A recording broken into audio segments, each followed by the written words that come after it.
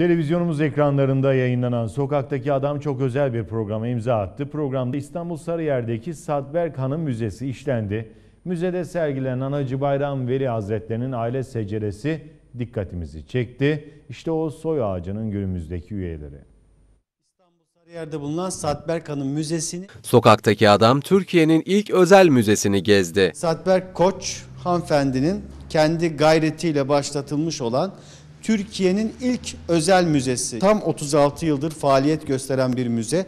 Türkiye'nin ilk özel müzesindeyiz. İstanbul Sarıyer'de böyle gerçekten çok şık, çok güzel bir yalı. Ünlü iş adamı Vehbi Koç'un eşi Sadberk Hanım'ın adını taşıyan müzede geçmişi milattan öncesine uzanan çok sayıda eser sergileniyor. Müzenin en gözde eserlerinden biri şüphesiz Hacı Bayramı Veli Hazretlerinin aile şeceresi.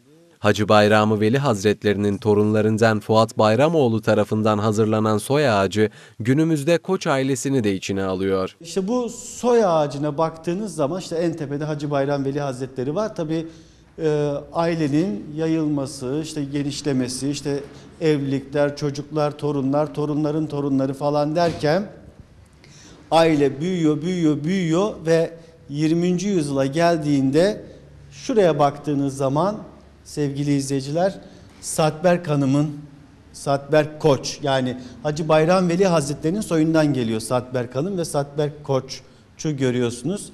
1906 yılında doğmuş, 1973 yılında da Hakk'ın rahmetine kavuşmuş.